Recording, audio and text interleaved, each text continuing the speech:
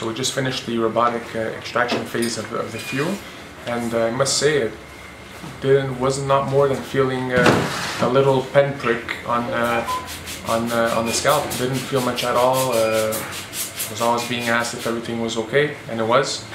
Um, so yeah, I- can't not say more because I really was I was pleasantly surprised that it went that, that well. So now we're uh, waiting for the next phase. That's what they are. Yeah, it, we have it set to, only certain amount.